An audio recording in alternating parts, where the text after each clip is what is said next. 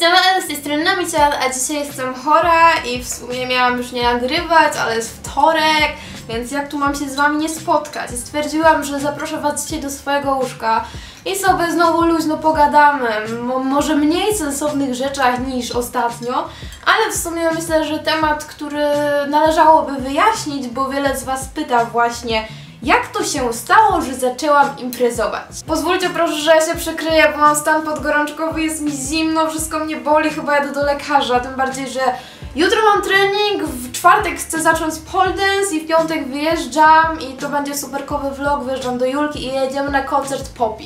Ale okej, nie to był temat. Czy są tu ludzie, którzy też tak jak ja zawsze piją herbatę przez słomkę i zawsze zostawiają torebeczkę, bo po co ją wyciągać? Niech sobie tam chlupie. Jeżeli tak, to koniecznie zostawcie łapki w górę i się integrujmy. A jeżeli tak nie robisz, to też zostaw łapkę w górę i integruj się z nami, a my przechodzimy do pogadanki. Ogólnie tak jak ja też sobie możesz wygodnie usiąść, bo nie chcę, żebyś poczuł się jakoś dziwnie, że ja tutaj jestem w łóżku i w ogóle a ty, nie wiem, musisz gdzieś siedzieć, rozsiądź się, weź sobie herbatę i, i, i zaczynamy rozmowę. Jakiś czas temu, mniej więcej na początku wakacji, zaczęłam jeździć do klubu i ostatnio robię to dość często, co widzicie po moim Instastory.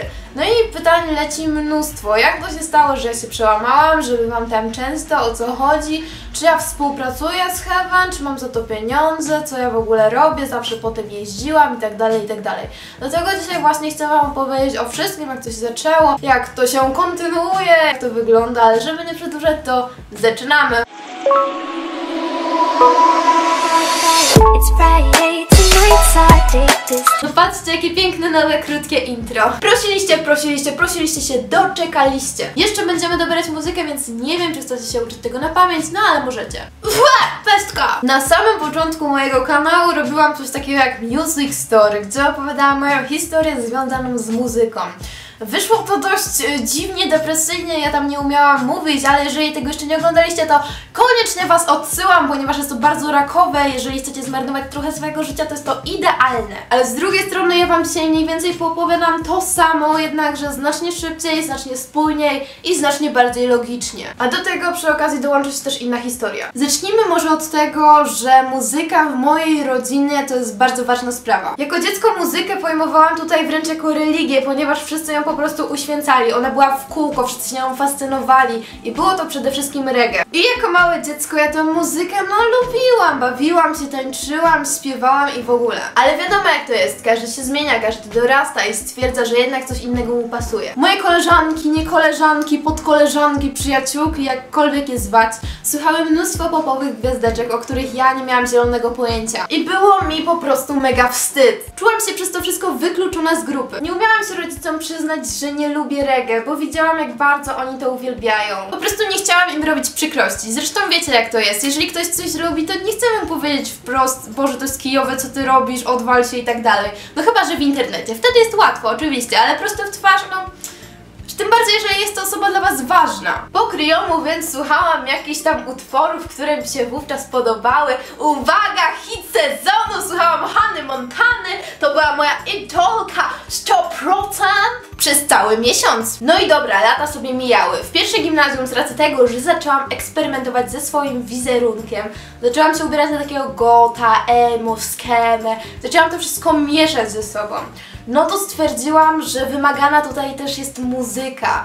Trzeba ją podpasować właśnie pod stylizację. I stwierdziłam, że zacznę słuchać punku, metalu, rocka i tak dalej. Powiem wam, że trochę się wczułam wtedy w tą muzykę. Strasznie zaczęłam kochać Black Veil Brides. Normalnie byłam armii i tak dalej, ale z drugiej strony cały czas czułam, że to nie jest coś mojego. Chodziłam z tym, unosiłam się, jaka to ja jestem alternatywna pod każdym względem i było super. Czułam się wtedy też taka bardziej dopasowana do mojego domu, ponieważ ten typ muzyki także jest tutaj uwielbiany. Może nie tak bardzo jak reggae, ale też stoi mniej więcej na równi. A to były czasy gimnazjum, kiedy mi tej akceptacji brakowało z każdej możliwej strony. Także nawet takie po prostu głupie podpasowanie się pod muzykę to było dla mnie coś ważnego. Też właśnie potem znalazłam kumpli, którzy słuchali tego typu muzyki i też czułam się bardziej dopasowana. Ale ja cały czas z drugiej strony czułam, że ja nie jestem sobą, że jestem oszukana w tym wszystkim, że ja się dopasowuję pod kogoś, a nie pod siebie. No i to tyle ze streszczenia. Przejdźmy w takim razie do rzeczy. Kiedy poszłam do liceum, był straszny szał na Warsaw Shore. Ale to się dziwnie mówi, powiedzcie to pięć razy szybciej. Straszny szał na Warsaw Shore. Straszny szał na Warsaw Shore! W takim razie czas na opracowanie tego dla ludzi, którzy nie wiedzą, co to jest. Zacznijmy od tego, że nie musicie niczego żałować, bo jest to jeden wielki shit. I tak by można zakończyć to streszczenie. Jednakże powiedzmy, że to chcę rozwinąć. Generalnie chodzi o to, że jest sobie ekipa z Warszawy albo spod Warszawy, jak to właśnie mówi tutaj nasz tytuł. I oni sobie jeżdżą po klubach, imprezują, ruchają wszystko co popadnie, żygają, chleją.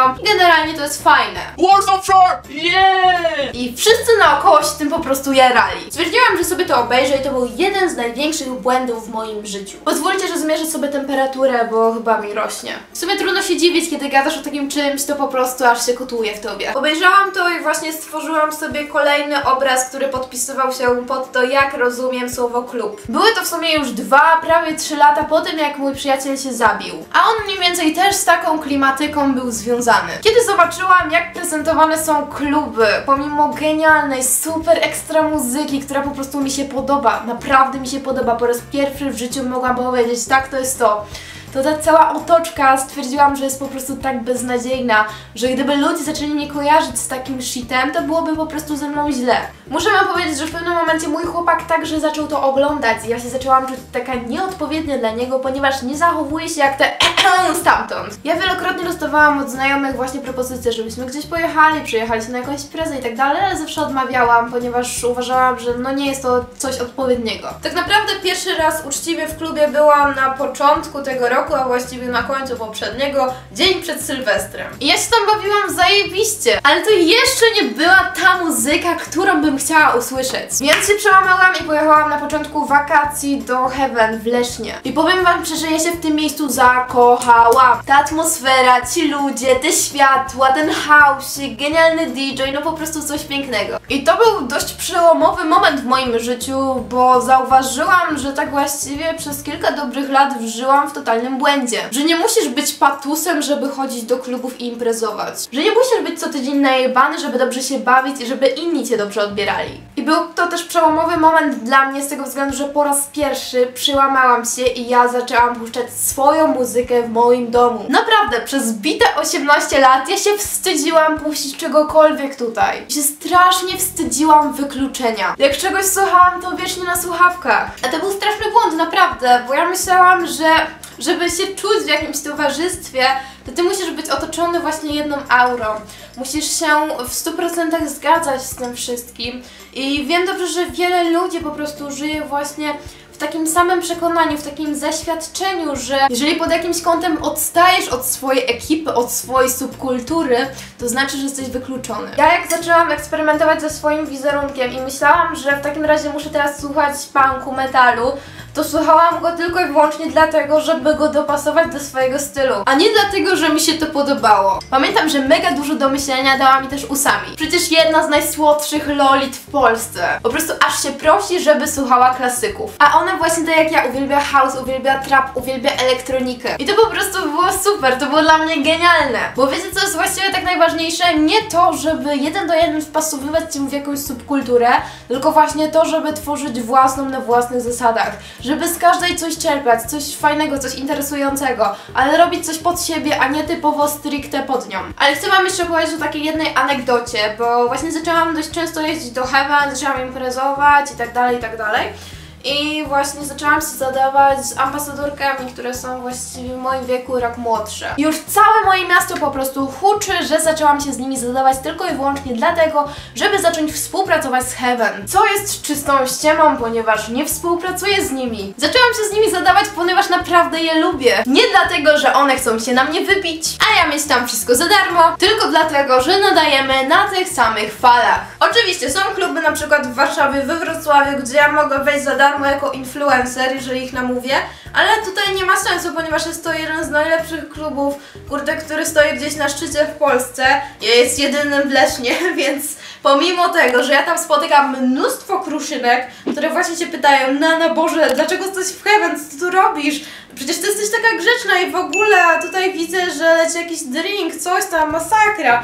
Yy, no to no, mimo wszystko no, nie współpracuję z nimi. Mają taką klientelę, że to się po prostu nie opłaca. Ale przyznam Wam szczerze, że ja strasznie polubiłam zabawę. Uwielbiam tańczyć, uwielbiam się wygłupiać, ja po prostu kocham house, to jest moja muzyka. Też często właśnie pytacie, czego ja słucham.